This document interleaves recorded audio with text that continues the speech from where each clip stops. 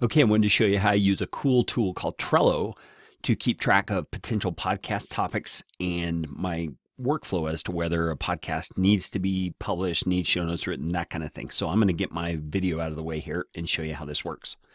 Okay, here are my personal boards I've got for my blog, my live coaching videos, my podcasts, Christian Home and Family, podcast Live Build Change, and podcast podcastification. So let's just take this one for an example. I'm going to click on it.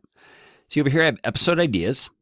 These are to be recorded, show notes needed, and then published. And I'm going to change the title and add the date when that happens. So let's say I wanted to do how to make your attendance at podcast conference the best it can be. If I wanted that to be next, I would move it over here and say, I'm looking here and say, ah, this uh, live podcast isn't podcasting. Okay.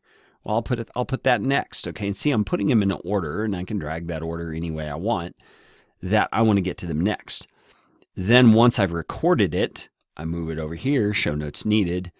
Once that's all done and I've actually finished all my work, I just move it into the published category.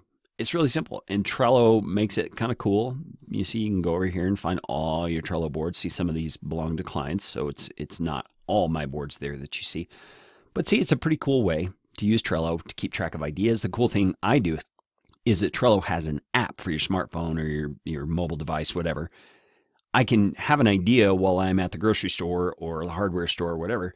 I can stop, I can pull up my app, I can put that idea in and drop it right into this column immediately and then be able to you know, take action on it next time I come because it's here and I didn't lose that idea. So, just an idea how to use Trello for podcast episode ideas and workflow tracking.